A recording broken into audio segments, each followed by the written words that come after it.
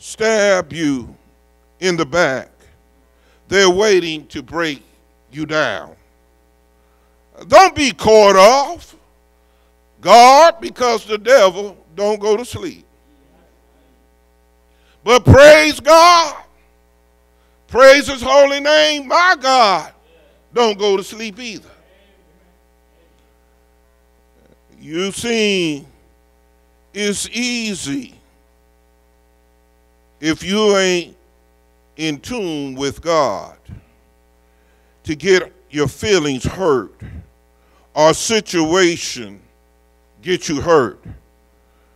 You see, when you find yourself in the hospital, don't let this situation catch you off guard to hurt you. The Holy Spirit will able to smile in the presence of the devil himself. See, if you're a true worshiper and you got the Holy Ghost, when the devil puts you in the hospital, my sister's in the nursing home, and I told her, even though you're in the bed, you still can wave your hand and praise the Lord. It is your attitude that changes this situation. And when she started praising the Lord, she's now back into the wheelchair. She's still praising the Lord because she serves a God that brings you out. So you may not be happy, but you still have joy because you know that God is going to bring us out of this situation. Matter of fact, when you have the Holy Ghost in you, you turn in this situation and you say to the devil, flee. Flee. Get out of here. I got the Holy Ghost. You don't say in your name, but you say in Jesus' name. That's why you're depressed. Cast out the devil out of your mind.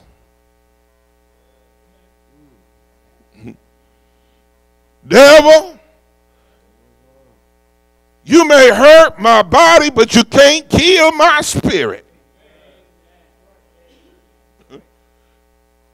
And you won't take my joy.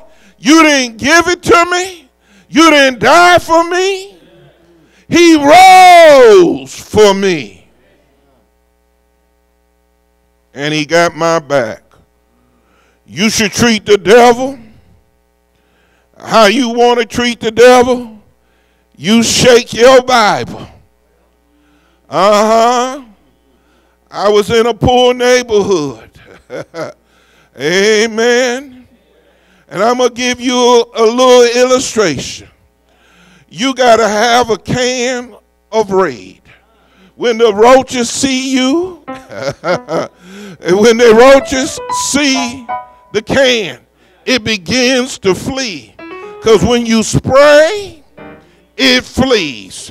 Uh huh.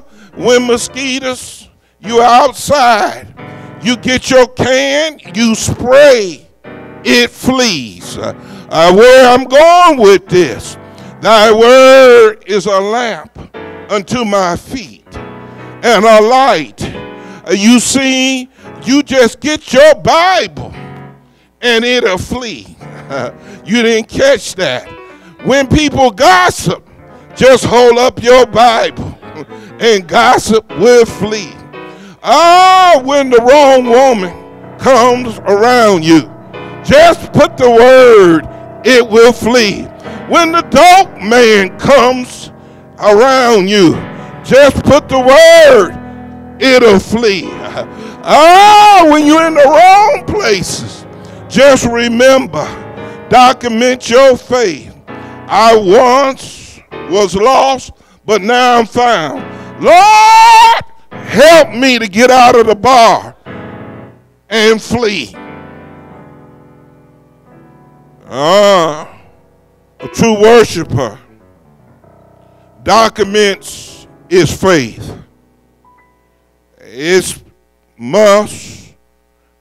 There's a difference for clarity of membership versus discipleship.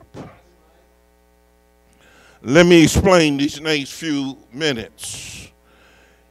When you're born again, people look that you ought to be somebody, and it should look like you're going somewhere. A true worshiper knows that it should be coming out of Egypt. A true worshiper knows that he got to go through the wilderness. The true worshiper knows it got to cross over something. Uh, you see, uh, Elijah, when he got to the river, it no, no needed to know I need to go on the other side, but he documented his faith on what God had done for him in the past. So when he got there, he was not panicking. He just waited. Be still. Uh huh. You trying right now to think out, Lord, while Elder Ford is trying to preach to you, you right now in your mind, you trying to worry about how your bill's going to be paid. Uh, you trying to worry about the car note. You're trying to worry about your job. Just wait. When Elijah waited, the Holy Spirit says, Take off your coat and hit the water. Somebody didn't catch that. Just take off your holy garment and strike the problem. I see you, you are drowning in the problem when you should be standing on the bank. God didn't tell you to get in the flood. He told you to stand at the bank. If you just be patient and stand at the bank, God can work this out. He's going to tell you, get up out of your bed, get up out of your car seat, get up out of your pew, take your holy, invisible Holy Ghost garment. Father, I stretch my hand to thee from which cometh my help. My help cometh from the Lord. And waters, because Moses stretched his rod, waters depart. Uh huh. When Daniel stretched his hands together and reached up to heaven, ah, the lion mouth was shut up, went to sleep. uh, you see, uh, when God allows the Holy Spirit to come into your life, miracles can be performed because you are born again, sanctified, filled with the Holy Ghost.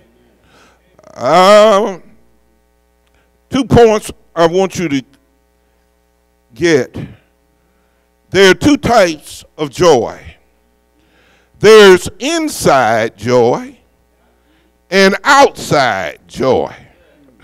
Uh, wake your wife up and your children up, and your neighbors up. Wake yourself up. We're about to get our praise on right now. The inside joy is not something you can take off and put on. And see, you got some people, they are flickering lights. they one minute on and one minute off. But see, a lighthouse, the light got to shine 24 hours. Are you listening to me? Batteries can't run out. Uh-huh. Uh, for you to make this, I, I have a flashlight. And this flashlight says it needs no batteries because it won't go out. It's what is made in the battery. Somebody didn't catch that. Well, see, I'm trying to show you there are two kinds of Christians. You got the inside one that has joy, and you got the outside one. Mm-hmm. Now, let me make it real clear here. You see, the battery says ever ready. It has a little bunny and it just keep going. Just keep going. It just keep going. You need to be that type. If you have the Holy Ghost, you just gonna keep on going through sickness, through pain, uh, in your marriage, to death do us part. I know you didn't like that, but I, we gotta praise Him. Just keep on going. When you're on sick bed, uh, because he said, I will guide you through unto death. That means I gonna cross you over. Mm-hmm. So if I'm in the grave, when I come out of the grave, I'm gonna be still praising the Lord. Uh-huh. See, inside joy don't depend on do I have a car or not. Some of you can't have joy because you don't have a Mercedes, a BMW, or this or that kind of car. So you don't have no joy. And that's why you got high blood pressure, bills are high, because you're trying to keep up with the Jones and not keep up with the Holy Ghost. Woo!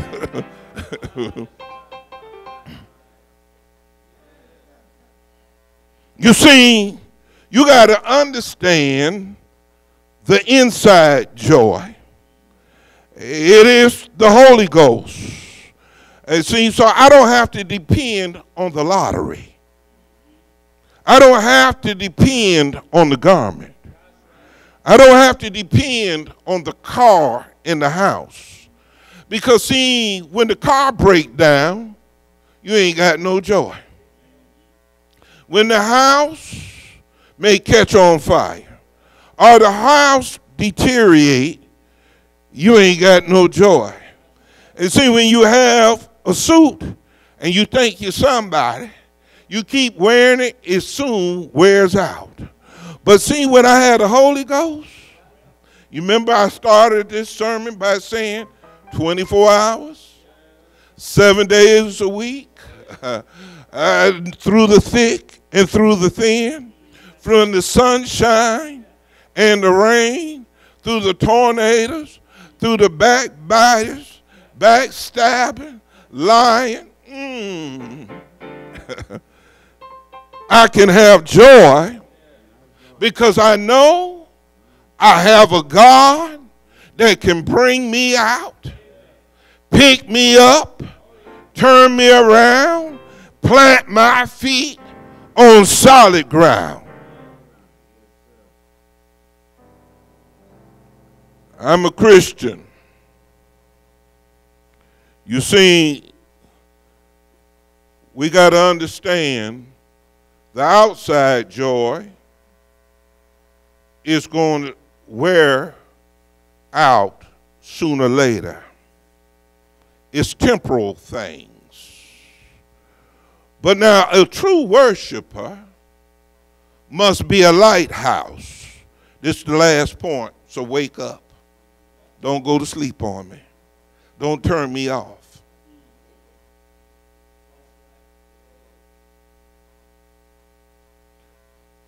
A true worshiper automatically be a lighthouse. This little light of mine, I'm going to let it shine. Everywhere I go, I'm going to let it shine. I was taught that as a child. Satan can't blow it out. I'm going to let it shine, let it shine, let it shine. And so when I was at the store, uh, the lady had walked up, but she didn't know my relationship with the cashier. Uh, see, I had you to understand, I started the sermon off, document your faith. She remembered that I came off a deathbed five years ago. And so she says, How are you? How's your health? How are you coping with this? So I stopped standing at the store. You see, you got to stop. When you have the Holy Ghost, it's not just in the church. We need some true worshipers outside the building. Witnessing is worship. Helping somebody is worship. Because whatever you do, eat, drink, and do, it must give God the glory. So I said to the person behind me, just give me one minute to document my faith. I said, the same God that allowed me to be baptized. and I said, is the God that brought me out of Detroit when a man shot at me five feet and missed me. God brought me out. Let me confess, I was in the wrong place, doing the wrong thing, but God grace and mercy brought me out. I got baptized, born again, saved, saved. Some people don't understand that I'm, there's a difference of being saved and perfect. Some people want to be perfect I want to be saved. That's why you're a fanatic. Because you're trying to be perfect, but not saved. Well, first, you can't save yourself. Because, you see, when you're in a situation, you're drowning, you need a lifeguard. Jesus is your lifeguard. You need to get out of that mess and stay out, unless you can swim by faith, you need a life preserver. And so long as I'm carrying the word, I recognize on my journey from Egypt to Canaan, I may make a wrong turn, but thy word is a lamp. It will guide me. I just reprogram. You see, my GPS if you get off course and you don't know what to do or get, you just push restart. Somebody didn't catch that. When you put restart, it reprogram and tell you where to go. And if you get so lost, you just press the button, go home. Ah, did you catch that? Uh, if you get lost, just press the button and go home. That's why I have joy. Because I know I'm going to make some mistakes. But I have got in tune with God. And if the Holy Ghost is in me, if I make a mistake, I can press the button. And God will retune me and lead me. Uh, watch this. Let me help some of you. Uh, my GPS says, Do you want a country ride? Do you want a rural route? It even have, do you want inner city streets? Then it says, do you want just highway? Then it says shortcut. Well, see why some of you can't get your praise? Because you press yours the long way. That's why it took Israel 40 years. Get your praise on. It took them 40 years because they went the long way. but Elder Ford, now 66, he put the short button. All I got to say, Jesus, save me. and he'll give me the shortcut. You see, if you just push the shortcut, then you don't have to be bumping into this and getting out of this and going this way and that way. Just put straight is the way. Walk you in. Broad is the way. That's why you wandering all around, lost, you up and down, crying one minute and faking the next minute and this, but mm, push the button. Father, I plead the blood of Jesus. That's what, to wrap this up, you need to write down a document. Uh, let me not be judgmental. There have been a lot of people that have been baptized, sitting in the pew, and they've been misery for many years. It's because they hadn't been born again. If they want to be technical, you say, Well, I was a new. Uh huh. You got wet, but you didn't accept the Holy Ghost. You got wet, but you didn't accept the Holy Ghost. It was an outward to demonstrate your humbleness to be baptized. But then the disciples learned in the upper room, I must wait on the Lord for the outpouring of the Holy Ghost.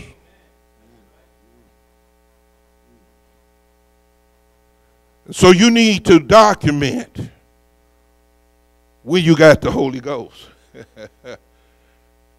Some want to document, I was jumping in the church and mm-hmm, that didn't say nothing. That was an outward show. But the reality, if I can help somebody, you see, because if you have the Holy Ghost, it's not for you to just to jump and shout. That's the difference between joy, happiness. Some people praise God because they got a new house, or a new car, a new wife, but they get divorced. Car break down. You got some people who's preaching, some false preachers, who's preaching prosperity don't determine the Holy Ghost. Peter was in a situation. They asked, the beggars asked him, But he had to say, Silver and gold I have not. But I got the Holy Ghost because I'm going to give you Jesus. And if you just take Jesus, he'll work it out.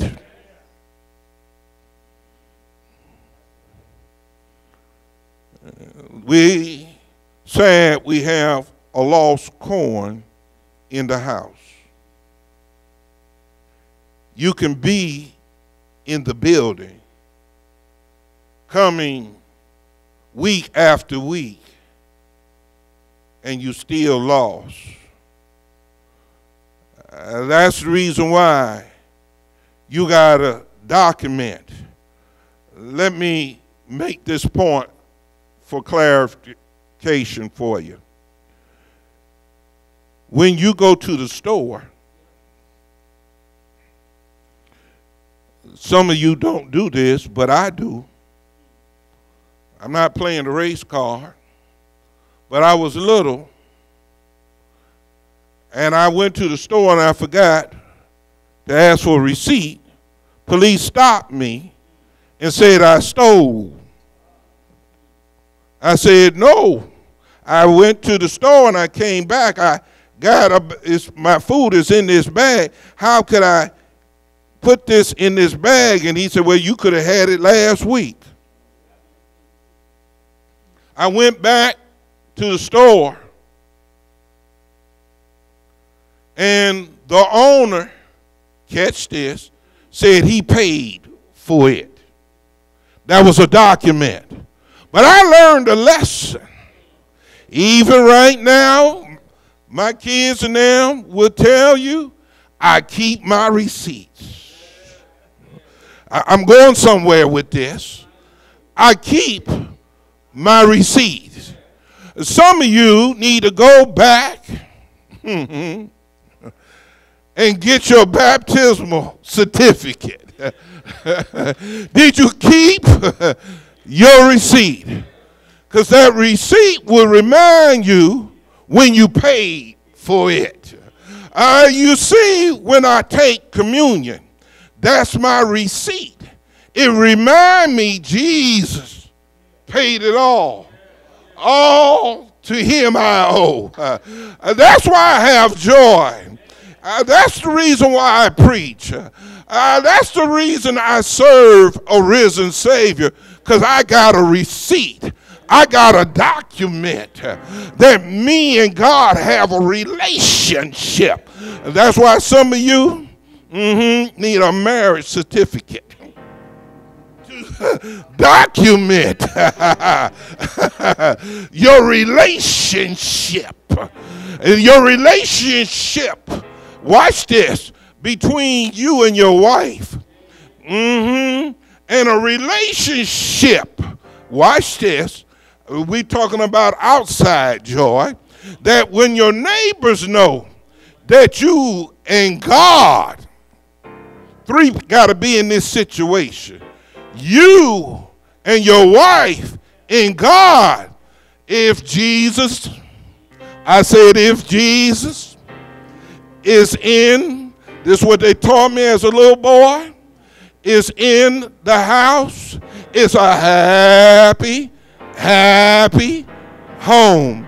If father, did you catch a single parent, single woman? If the man not around the house, coming in and out of the house. But if the man is in the house, it's a happy, happy home. If mama is in the house, it's a happy, happy home. I have a little grandchild.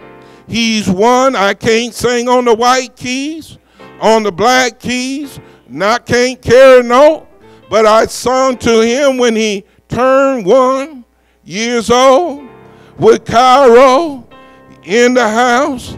It's a happy, happy home. He started smiling. I said, Brother, is in the house. It's a happy, happy home. He starts smiling. I said, Mama, I birth you. It's a happy, happy. He was smiling. I said, Father, uh, he planted a seed in your mama, and it's a happy, happy house. But Jesus uh, uh, bless this house. Are you seeing I'm documenting something? Uh, your daddy and your mama got married a year ago. It's a happy, happy house. That's why you here. Grandpa been walking by faith. Uh, it's a happy, happy house. Uh, grandma been walking by faith. It's a happy, happy house. Uh, your grandmother on the other side is a happy, happy house. Are you catching it? And when you make up your mind that in every situation, God's going to be in the situation, and you let God have his way and you get out of the way, you're going to have some joy that the world didn't give it to you and the world can't take it away. And that's why I'm so glad. I'm so glad that Jesus lifted me. Uh, you see, there shall be some evidence in your life as I was getting my little one minute praise, there was a guy was a cashier. He started singing. the manager came out. You see, you you gotta when you had the Holy Ghost. see, it, it, it can't be staged.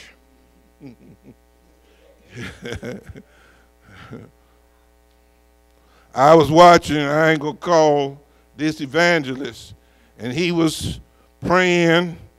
It was on CNN, you check it out. And uh, the other worshiper had his eye open, but he was trying to praise the Lord with his eye open. And he was looking like this, and the comedian was saying, Is this member really buying into what the preacher is preaching. You see, there are people who are watching you, and you've been prayed up, ready up, and now you're in the crisis. Now they looking. This is the time to get your praise on. Uh huh. See, that was locker room. And see, when I played sports in the locker room, we are cheering. But you should be cheering. Uh huh. In the fourth quarter. Uh, that's why a few weeks I preached. I was at a funeral and I got a text because the funeral was over. And I was sitting with the family and eating. And they were saying, uh, Your team that you're rooting for in the Super Bowl is losing. But I had my wife to text them back. I said, What quarter? We about to end with our praise. I said, What quarter? And uh, he said, Third quarter. I said, Talk to me in the fourth quarter. Well, he was talking some noise and he was just blowing text. He even his friends were blowing text. And he said, Are you watching it? I said, No, I'm comforting the family. You see, we, when you got the Holy Ghost, you don't let nobody sidetrack you. I said, I'm here to comfort the family. I'm not worried about this because, see, you got to document. You got to document your faith. And so when it got down to the fourth quarter, uh, and four minutes was left in the game, he still was talking a bunch of noise. Well, I said to him, Did you look through the years? Have you looked through the years of this young man? And he texts back, No. See, I said you got to document your faith. Well, I said, I'm going to talk my noise before the game is over. See, I have some shaky friends. They wait till the situation out, then they praise the Lord. No, I'm praising him right now because I could document my faith. While that guy was talking a little noise, I said, You check when he was in high school, when he was in the fourth quarter, what happened? Check out when he was in college, uh, what he was doing. Now just check out that this is his first year. But he, what one time they were behind in the fourth quarter, but they won the game. Ah, there was another game that he was in the same situation. He was beaten up, had to go back to the locker room. Ah, you may get beaten up. I mean, just go back to the locker room and get yourself redressed. Uh, I told him, I said, I'm talking my noise. I'm right now talking my noise to the devil. Uh, the God before this world was formed, uh, he said, uh, I see the beginning to the end. You're going to go through some stuff. Uh, yeah, I walk through the valley. Uh huh. I'm documenting my faith. And my God said, uh, You turn your back on me. That's why you in Egypt. But I'm documenting my faith. And now I got you at the Red Sea. Uh, you didn't have a little faith. But I, am going to give you a faith. Just take this little rod uh huh, and document my faith. And now I got you on the other side. They begin to praise God, but they got a little weary. He said, Look up. Mm-hmm. I'm documenting my faith. There's a cloud by day and a pillar at night. Uh huh. Document my faith. Uh huh. Now I'm here at the Jordan River. He says, You don't need no rod, just document your faith. What did I do in Egypt? What did I do uh, at Mount Sinai? Now you got to walk by faith. I'm talking to you right now. When they start walking, uh, there's something about the hem of the garment. I'm closing out. Don't lose this thought. Start getting up and praise God. Ah, that lady, she just pressed through the crowd. I press around your television. I press around your kitchen. I press around your table. I just seek those that seek the Lord. Uh-huh. Uh, do we have some seekers here? Do we have some true worshipers here? Somebody need to be like the wise men. Where's the star? you just start walking around, walking around walking around and walking around till you see the word. And when you see the word, it will document your faith from Genesis to Revelation. Document your faith. you see, in this situation, I went back, uh-huh, so you could catch up where I'm going. I said, uh, see three, one for the Father, two for the Son, three for the Holy Ghost. I said that little man was in the, fourth quarter and he saw himself in a situation. Uh, they were behind, but they pulled out. Uh, I'm back with Kansas City. And so when it got down to the two minute, I says, now it's time for us to show up and show out. Corona, it's time for me to show up and show out. Ah, I serve a risen Savior. I know He lives. He lives within my heart. Uh, when it got, I kept pushing the button, but I didn't get no answer from those guys who were talking noise. I said, it's now time for us to show up. The guy went into the court, in, he went into the in, in, with his team in the huddle. And he said, I got this. The oldest one, one offensive lineman, he says, We trust you, young man. We talking about documenting your faith. See, you got to be humble if you're a true worshiper. And so he says, I been through this before. Uh, this is what we're going to do. And you do what you need for us to win.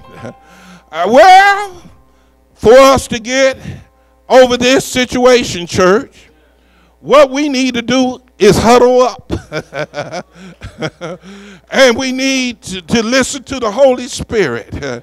and the Holy Spirit going to tell you, I've been through this. Jesus going to say, I've been through this. The Father said, I've been through this. I sent my son down to have your back. And when he left, I left you with the Holy Ghost. Uh, uh, we got this situation. Yes, it looks bad. Yes, lost. We lost loved ones, but we are like Paul. Whether we live or whether we die, we are the Lord. God didn't promise us temporal things. He promised us eternal things. This joy that I have, the world can't destroy.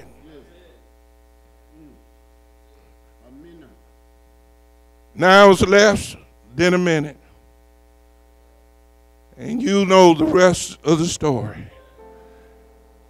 The young man, even though his ankle was messed up, even though he was in pain, he didn't give up his faith or his joy. Because he knew that he was a winner. A winner learns from their mistakes. A winner knows that he must go through some pain. As a pastor in sports, lived in Michigan, was a track runner I thought it was stupid when I had a new coach. He had me running in the heat of the day. He had me running in sub cold weather in the snow. I thought it was crazy. He had me running by the lake in sand. He had me running up in the hills. He had me running down in the valley. He had prepared me to run at that time the 220, 440, the mile, the country run. Are you catching it? He prepared me to be a winner in every situation. In my ministry, as I look back and documented my faith, God had prepared me through some trials and tribulations. He's prepared me for this situation. As a little boy, at six years old, a military guy came into my life. At that time, we were called busy bees. Then we became pathfinders. I'm talking to you young people. He had us at 10 years old in a snowsuit, just a blanket, Our parents was upset because he taught us how to sleep in the snow, how to take tree limbs and weave them and make a bed. He prepared us by the lake, prepared us to skate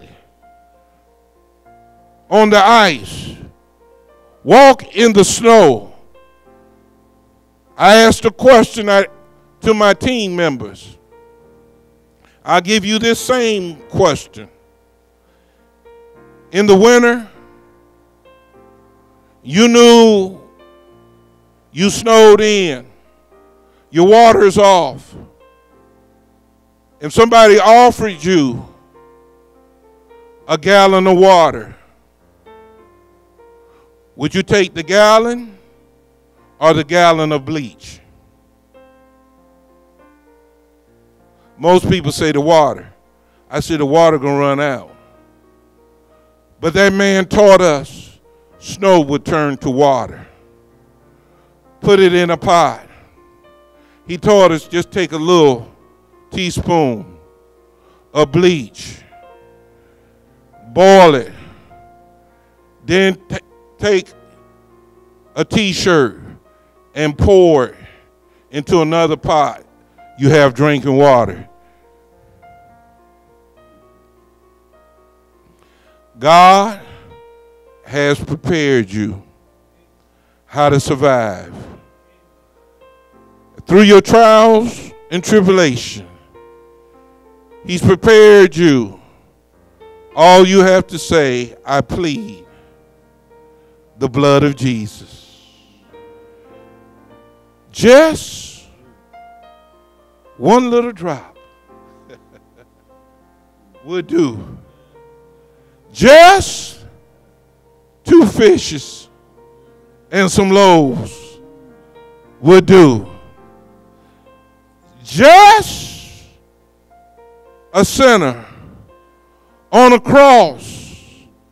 All you got to do is just look to Jesus and say, Remember me remember me. Eternal Father, remember us. We just stop to praise you, your holy name.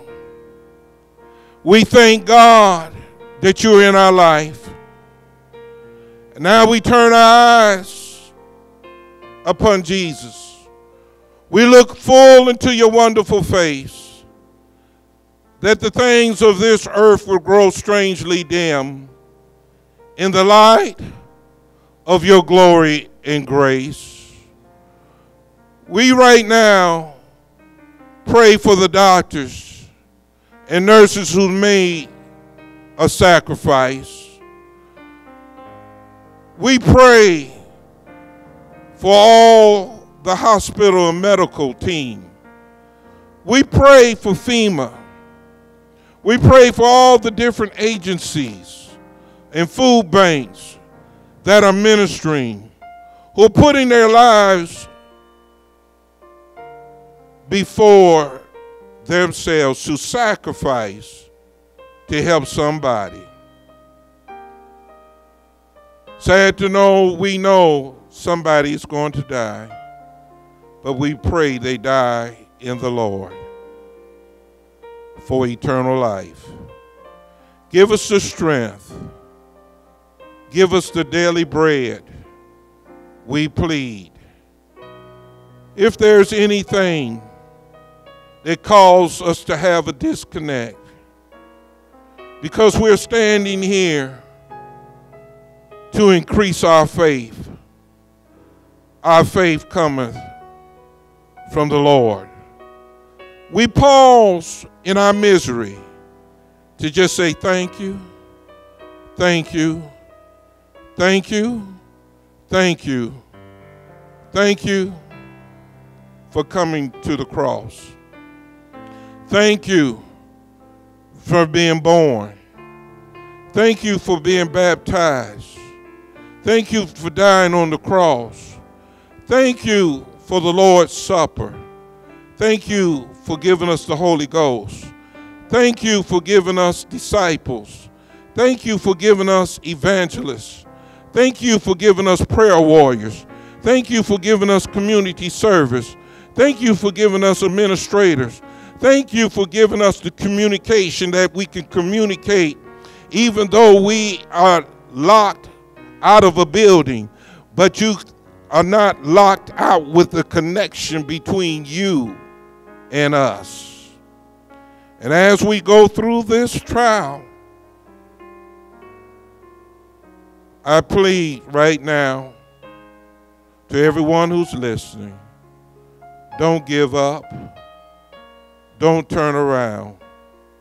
Keep walking by faith because God's going to bring you out. In the name of Jesus, we give you all the glory and praise. Thank you for what you've done in the past, present, and the future. God bless you.